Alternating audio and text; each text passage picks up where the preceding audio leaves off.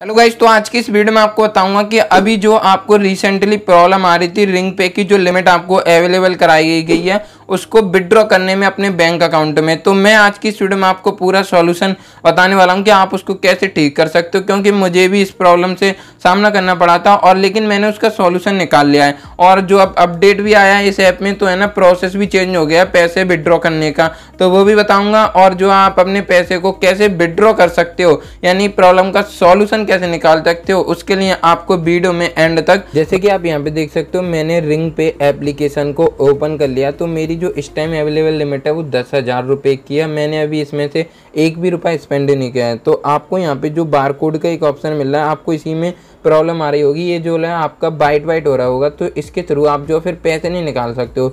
मेरा ये ब्लू हो चुका है, यानी कि मैंने जो सॉल्यूशन निकाल इस वजह से ये ब्लू हो गया। तो आपको कैसे ठीक करना है, उसके लिए आपको लेफ़्ट हैंड साइड में जो सबसे ऊपर थ्री लाइन्स हो रही हैं, उस पर क्लिक करना है। आपको यहाँ पे एक ऑप्शन मिलेगा कंप्लीट का या फिर इनकम्प्लीट का? तो मैंने ठीक कर लिया, इस वजह से यहाँ पे कंप्लीट या फिर इनकम्प्लीट लिखा नहीं आ रहा है आपको क्या करना होगा कि आपको उसमें अपना बैंक अकाउंट ऐड करना होगा, जिसमें कि आपको वहाँ पे शो हो रहा होगा मिसिंग तो आपको बैंक अकाउंट पे क्लिक करना है ऐड बैंक अकाउंट पे क्लिक कर देना है। उसके बाद आई कोड को फिल करना अकाउंट नंबर अकाउंट नंबर को कन्फर्म कर देना है और आपको अकाउंट होल्डर का नेम फिल कर देना है। और जिसके नाम पर ये रिंग पे है, उसी के नाम पर आपका जो है अकाउंट होना चाहिए, उसी में आप पैसे विड्रॉ कर सकते हो और आपको अकाउंट टाइप सेलेक्ट कर लेना सेविंग है या फिर करंट उसके बाद आपको ऐड कर देना है और डिटेल्स को आपको वेरीफाई करना है और आपको जो है कंफर्म पे क्लिक करना है। कंफर्म पे क्लिक करने के बाद जो आपकी लिमिट है, वो within twenty four hour के अंदर ये वाला जो बार कोड आपका बाइट वाइट शो हो रहा है, वो आपका जो है ब्लू हो जाएगा। फिर आप जो है पैसे विड्रॉ कर सकते मैं आपको यहाँ पे जो है दस या पचास रुपये कुछ अमाउंट इसमें विड्रॉ करके दिखा देता हूँ। आपको जो क्या करना है,